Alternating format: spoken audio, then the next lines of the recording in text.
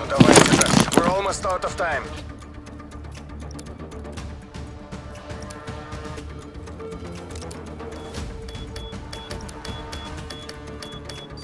Bomb online.